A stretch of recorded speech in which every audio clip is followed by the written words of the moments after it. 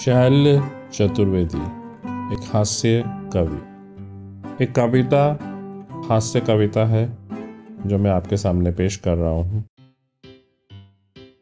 वैसे तो एक शरीफ इंसान हूँ। आप ही की तरह श्रीमान हूँ। मगर अपनी आँख से बहुत परेशान हूँ।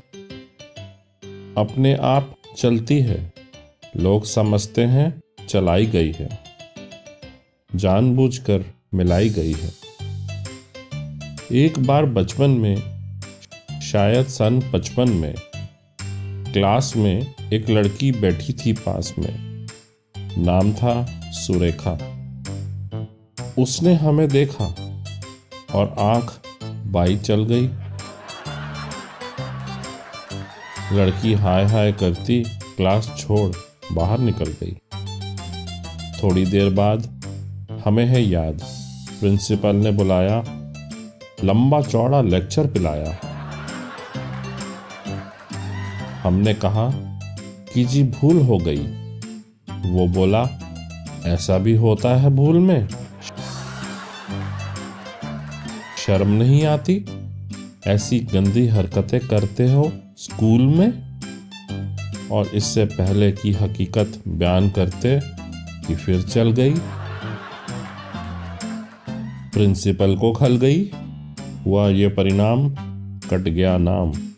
बमुश्किल तमाम, मिला एक काम। इंटरव्यू में खड़े थे क्यू में। एक लड़की थी सामने अड़ी। अचानक मुड़ी। नज़र उसकी हम पर पड़ी और आँख चल गई। लड़की उछल गई। दूसरे उम्मीदवार चौंके। उस लड़की की साइड लेकर हम भी भौंके। फिर क्या था? मार मार जूते चप्पल फोड़ दिया बक्कल सिर पर पाँव रखकर भागे। लोग बाग पीछे, हम आगे। घबराहट में घुस गए एक घर में। भयंकर पीड़ा थी सिर में। बुरी तरह हाँफ रहे थे। माड़े डर के काँप रहे थे। तभी पूछा, उस गृहिणी ने कौन? हम खड़े रहे मौन। वो बोली, बताते हो या किसी को बुलाऊं? और उससे पहले की जबान हिलाऊं चल गई। वो मारे गुस्से के जल गई। साक्षात दुर्गा सी दिखी, बुरी तरह चीखी। बात की बात में जुड़ गए अड़ोसी पड़ोसी मौसा, मौसी, भतीजे, मामा, मच गया हंगामा। चड्डी बना दिया गया हमारा पजामा। बनियान बन गया कुर्ता। मार मार बना दिया भुरता। हम चीखते रहे और पीटने वाले हमें पीटते रहे। भगवान जाने कब तक निकलते रहे रोश और जब आया हमें होश तो देखा अस्पताल में पड़े थे। डॉक्टर और नर्स घेरे खड़े थे। हमने अपनी एक आँख खोली तो एक नर्स बोली, दर्द कहाँ है? हम कहाँ कहाँ बताते? और इससे पहले कि कुछ कह पाते, चल गई। नर्स कुछ नहीं बोली। बाई गार्ड मगर डॉक्टर को खल गई। बोला, इतने सीरियस हो, फिर भी ऐसी हरकत कर लेते हो इस हाल में? शर्म नहीं आती? मोहब्बत करते हो अस्पताल में? उन सब के जाते ही आया वार्ड बॉय। देने लगा अपनी राय। भाग जाए चुपचाप, नहीं जानते आप, बात बढ़ गई है। डॉक्टर को गड़ गई है। केस आपका बिगड़वा देगा, ना हुआ तो मरा बताकर ज़िंदा ही गड़वा देगा। तब अंधेरे में आँख मूंद कर खिड़की से कूद कर भाग आए, जान बची तो लाखों पाए। एक दिन सकारे, बाप जी हमारे बोले हमसे, अब क्या कहें तुमसे, कुछ नहीं कर सकते तो शादी ही कर लो।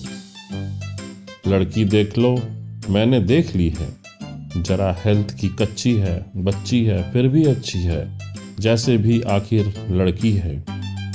बड़े घर की है, फिर बेटा यहाँ भी तो कड़की है। हमने कहा, जी, अभी क्या जल्दी है?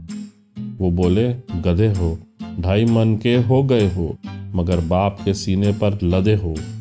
वे घर फंस गया तो संभल जाओगे।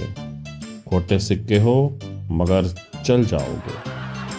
तब एक दिन भगवान से मिलके धड़कते दिल से पहुँच गए रुड़की। देखने लड़की, शायद हमारी होने वाली सास बैठी थी हमारे पास। बोली, यात्रा में तकलीफ़ तो नहीं हुई? और आँख मुई चल गई। वो समझी कि मचल गई। बोली, लड़की तो अंदर है, मैं तो लड़की की माँ हूँ। लड़की को बुलाऊं और इससे पहले कि ज़ुबान हिलाऊं, आँख चल गई दोबारा। उन्होंने किसी का नाम लेके पुकारा। झटके से खड़ी हो गई। हमारे पिताजी को पूरा प्लान धो दी। हम जैसे गए थे, लौट आए। घर पहुँचे, मुँह लटकाए। पिताजी बोले, अब क्या फ़ायदा मुँह लटकाने से? आग लगे ऐसी जवानी में।